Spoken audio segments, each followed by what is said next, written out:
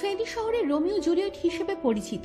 মানসিক ভারসাম্যহীন এক জুটির সাড়ে সাত মাস বয়সী মেয়েটি মারা গেছে।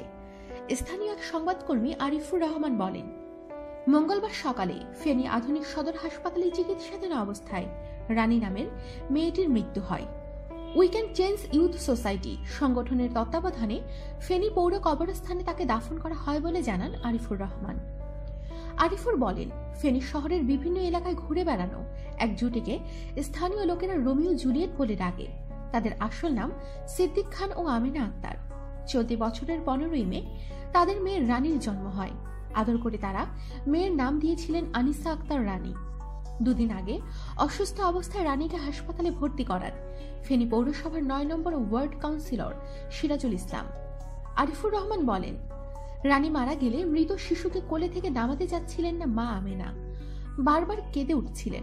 রানীকে কবর দেওয়ার সময় সিদ্দিক বারবার অনুরোধ করছিলেন তার সন্তানকে যেন দেখে রাখা হয়।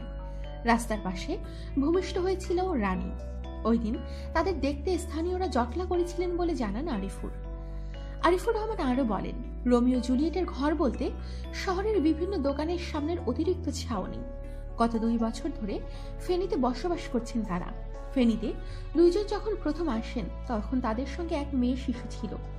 তাদের সেই সন্তানটি বছর দুয়েক আগে চুরি হয়ে যায়।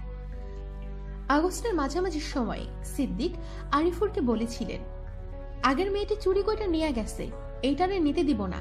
এর নাম রাখব রানী। এরপর আর কোনো কথা বলতে রাজি হননি সিদ্দিক। আমিনার সঙ্গে কথা বলতে চাইলে ইশারা করে জানালেন, কয়টা টাকা দেন? স্থানীয়রা জানান, খেয়ে না খেয়ে তাদের জীবন কাটে সিদ্দিক ও আমেনার। তবু একজন আরেকজনকে ছেড়ে যায় না। আমাদের সাথেই থাকুন আর অবশ্যই সাবস্ক্রাইব করুন।